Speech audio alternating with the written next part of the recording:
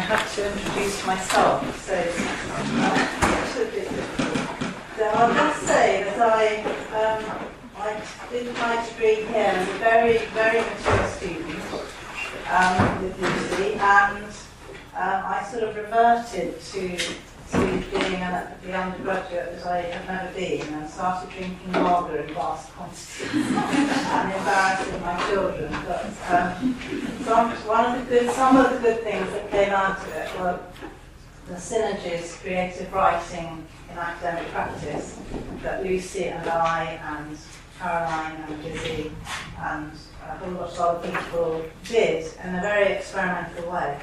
Um, and I think one of the most important things that came out of that was the importance of um, looking at hierarchies differently. So the teacher and the student and the, the importance of the round table in fostering creativity and confidence. Um, so I'll just read some poems. Um, my first poem, which I'm going to read because I read, the last time I read it was here. Um, so it's called lupins. Lupins, with their peppery summery smell, filled the brimming moment to its rim, lifting the shadow my father left by dying. Eighty years of living with my mother's grief, wiped clean by the heat and promise of the day, and I, a small child, tending my garden, shedding the past for that moment's clarity, absorbed and delighted by the task's simplicity, planting stones in a rough circle, turning up worms the colour of corsets, hardly aware that time was passing, the smell of gym shoes and grass being cut, or the way the heavy summer air curved the sound of four o'clock striking. Now lupins always remind me of you, how you lifted the stain of childish sorrows, kept the day bright like a sun-warmed garden, until night came and our spirits ventured silently, hand in hand, without fathers, black as lupins at dusk, setting out against a tall sky. Um, and before I did my degree in English, I actually trained to be a painter at the Ruskin School of Art. Um, and I write quite a lot of ekphrastic poems at art. This is called Sur le Pont des Arts.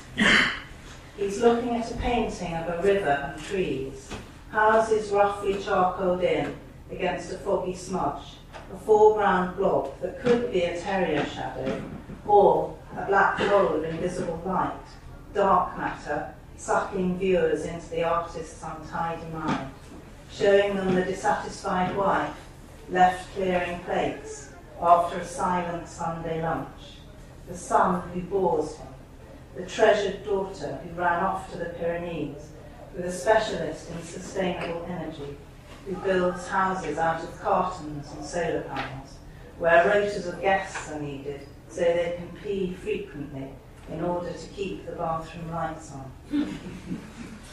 He's looking at a, a painting of a river and trees and thinking about his mistress, whom he hasn't seen for three weeks because she's gone to stay with a sister he knows she's just invented. Now he's thinking about his hat, a smart Homburg, and how superior it is to the artist's floppy hat, which is hiding probably a mess of impasto passing for grain. He's thinking of the terrier who has just caught up and is now regarding him with small, adoring eyes. He's thinking it costs him more to feed the terrier than buying the new Homburgs he prefers to his wife. He's thinking his mistress is a liar, the artist is an impostor, the artist's wife and son should leave, the artist's daughter and her husband can keep fakes, and that his own wife is less attractive than a hat. he's thinking that his terrier is an expensive excrescence. In fact, he's wishing he was someone else. He's looking at a painting of a river and trees.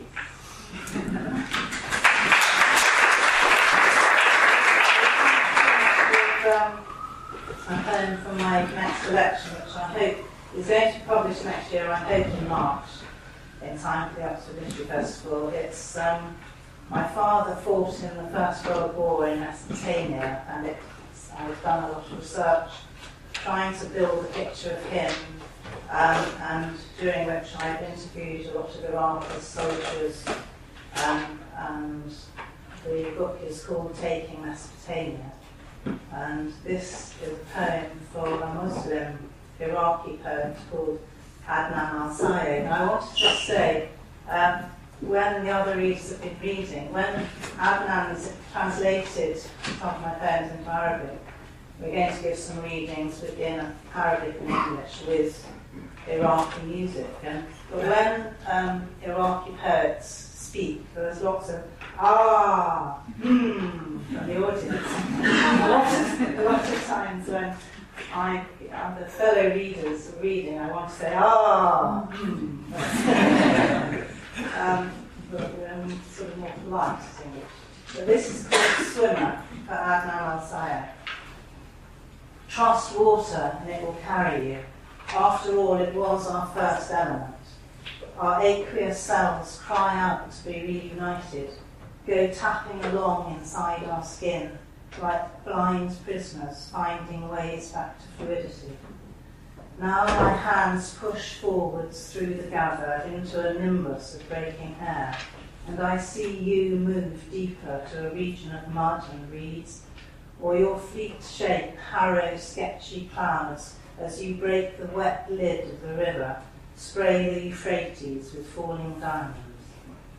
Back then, what you fled was the midday heat in your father's sick bed, your mother, frayed by the burden of constant want, later the soldier's wrath, the dirt of spent cartridges, after they'd done their bloody business.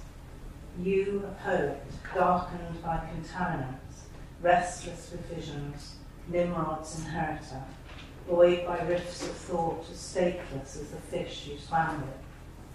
Now you have another river, feel the pull of other tides that have brought strangers to the weather of exile since the Romans. Your voice travels out, heaped and precious as the Rhondda coals my father's uncle shovelled. Miners like those who sang to Jesus as Tynewydd waters rose up the shaft towards them, their wives leaving spitting kettles to run from their kitchens, drawing shawls tighter, suddenly oh, old as light pearl, the pit's last candle drooping like hanged girl.